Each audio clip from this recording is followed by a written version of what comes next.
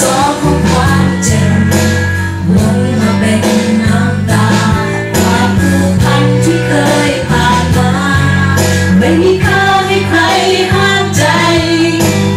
คนคนนี้ ต้องยินดีกับเธอด้ไหม ใครคนที่โหดร้ายกัอีกคนที่แย่งแฟน